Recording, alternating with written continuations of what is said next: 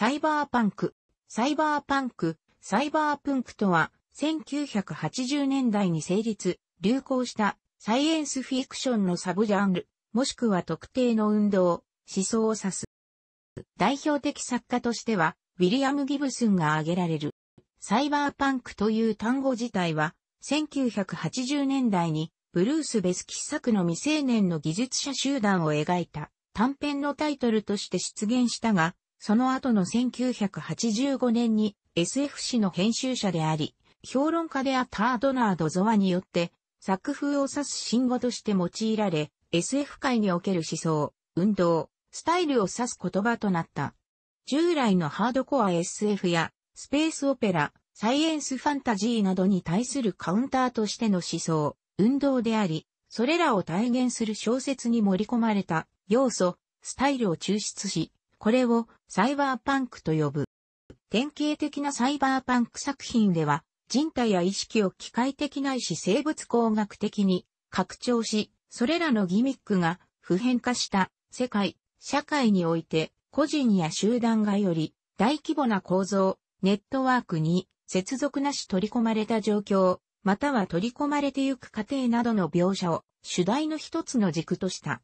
さらに主人公の言動や作品自体のテーマを構造、気候、体制に対する反発、いわゆるパンクや反射性を主題のもう一つの軸とする点。これらを内包する社会や経済、政治などを俯瞰するメタ的な視野が提供され描写がなされることで作品をサイバーかつパンクたらしめ、既存の SF 作品と区別され成立した。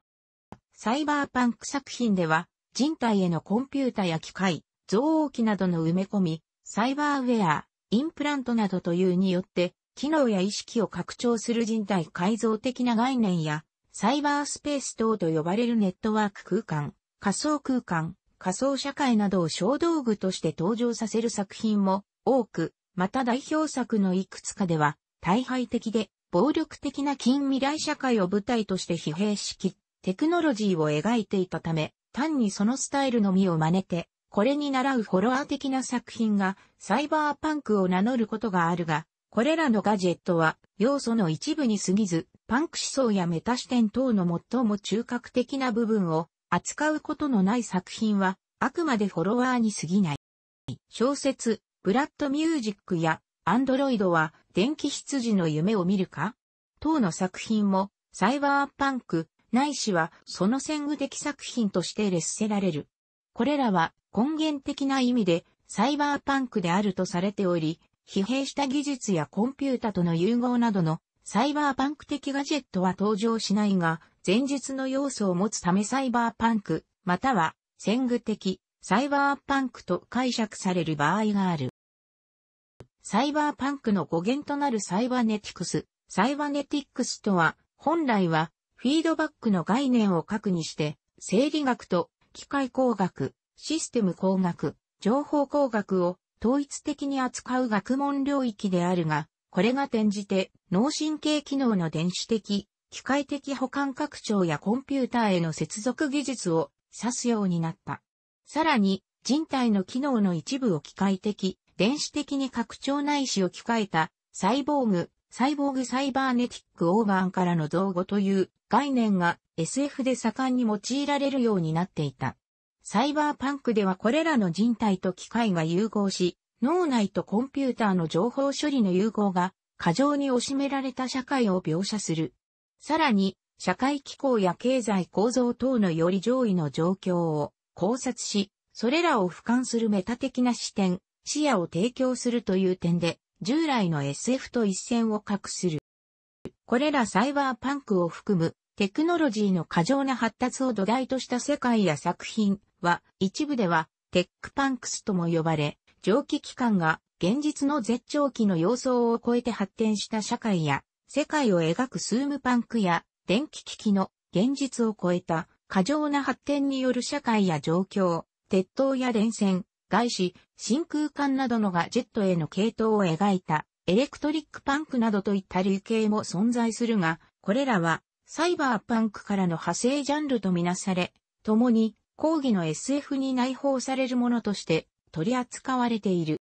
サイバーパンクが成立した1980年代前半は、北米や欧州を中心にパーソナルコンピュータが一般家庭にも普及を開始し、原始的なネットワーク、パソコン通信を伴って身近なものとなり、また各種の電子機器が民生機器として流星していた時代でもあり、一方で軍学共同の広域ネットワーク、インターネットの直接のルーツとなる ARPA ネットなどの研究と普及も始まっていた。これら実在のガジェットや概念に触れる機会が増大したことで、それらが過剰に発展した近未来への着想をもたらしたという点でも、同時代の社会及び科学、民生技術の状況がサイバーアンク成立の母体となったことは確かである。